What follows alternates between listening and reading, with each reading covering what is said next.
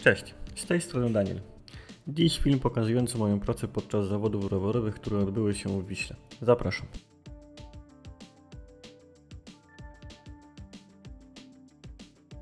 Na początku, zaraz po wyjściu z samochodu, wykorzystałem sytuację i zrobiłem kilka zdjęć detali.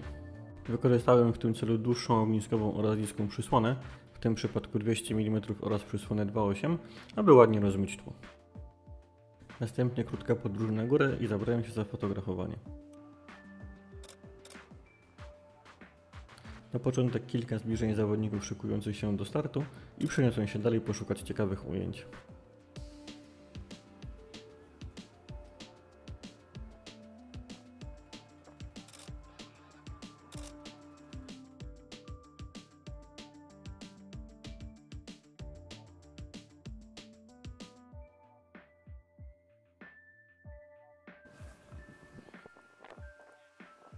Chwila skupienia i krótka rozgrzewka to jak widać podstawa podczas zawodów na tak trudnej trasie.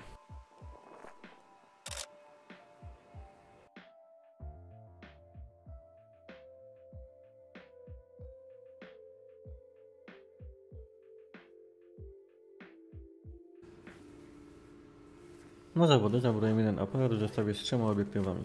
Noszenie jednego body zapewniało mi większą mobilność, a na samej trasie było wystarczająco dużo czasu na zmianę obiektywów. Na początek fotografowania na trasie postawiłem na szeroki obiektyw. W tym wypadku był to Canon 16-35 mm ze stałym światłem 2.8.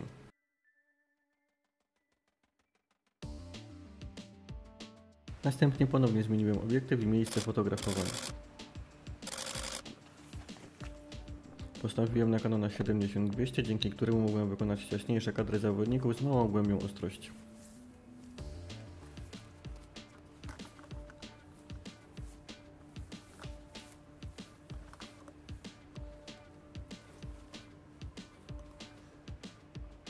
Położenie się na trawie pozwoliło mi uzyskać większą stabilność oraz lepszą perspektywę, dzięki której uzyskałem ładniejsze tło.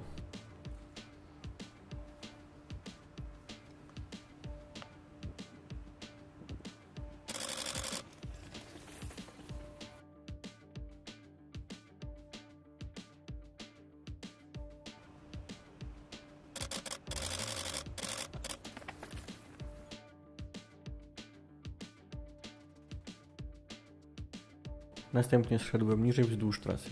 Na otwartej przestrzeni postanowiłem wykonać kilka kadrów szerokim obiektywem, pokazując zawodników wraz z krajobrazem.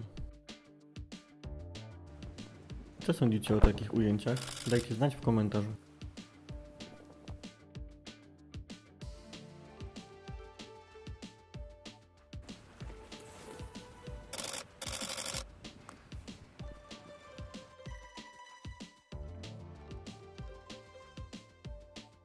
Następnie wróciłem na poprzednią miejscówkę. Zostałem tam dłuższą chwilę, co moim zdaniem pozwoliło mi zrobić kilka fajnych zdjęć.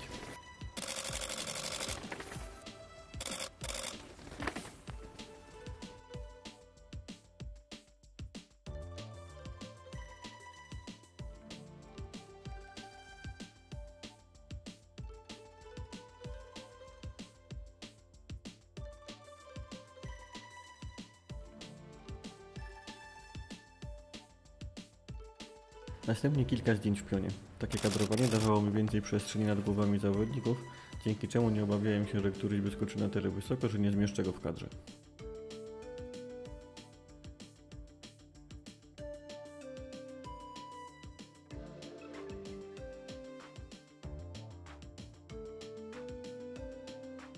Ostatnie kilka ujęć w tym miejscu wykonałem ponownie kanonem 16-35 mm.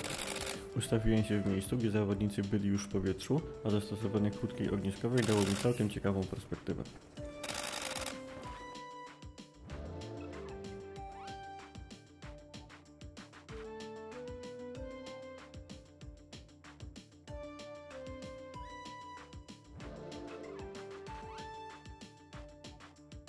Ostatnie kilka ujęć na górze i zjeżdżamy z powrotem na dół trasy.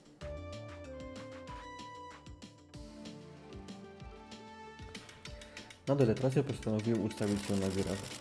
Zapiąłem Canona 2470, co jednak szybko okazało się być złym wyborem. Chciałem sfotografować zawodnika, gdy jest on zaraz pode mną, ale ogniskowa 24 mm okazała się być zbyt długa.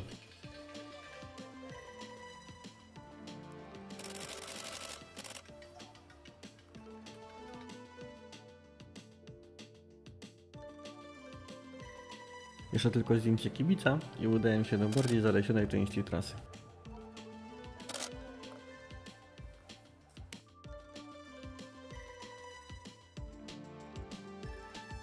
Tym razem ustawiłem się w miejscu, gdzie zawodnicy wolniej pokonują bardziej techniczną, kamienistą część trasy.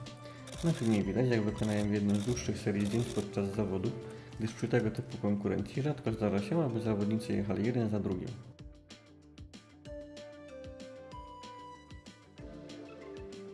Po chwili jednak cofnąłem się o kilka kroków. Przeszedłem także na przeciwległą stronę trasy, chciałem dzięki takiemu ustawieniu mieć w kadrze więcej ładnie kontrolą oświetlonego lasu.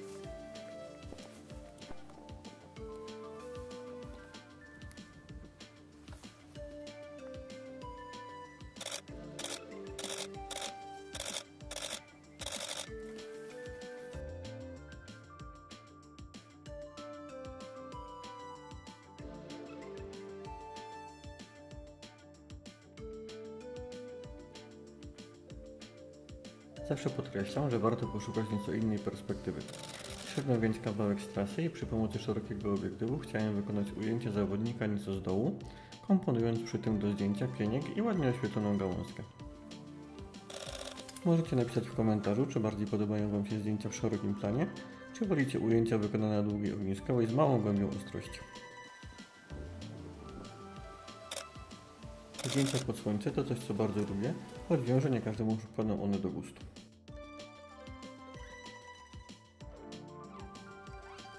Dość szybko nadarzyła się okazja do sfotografowania dwóch zawodników na trasie jednocześnie.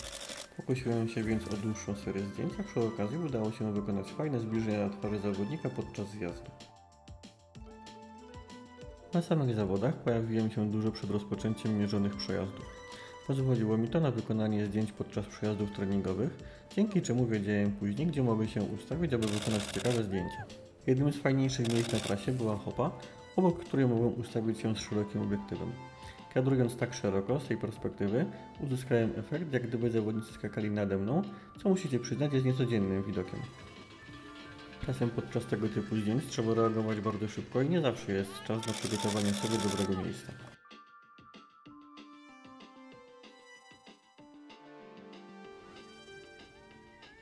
Na koniec jeszcze kilka zdjęć z wirażu i udaję się w kierunku mety. Łącznie podczas całego dnia wykonałem około 1000 zdjęć, z czego do publikacji wybrałem około 160. To już koniec na dziś. Galeria zdjęć z zawodów ukaże się na moim kanale w sobotę o 10, a Ty zostaw suba i łapkę w górę na kanale, jeśli film Ci się spodobał. Cześć!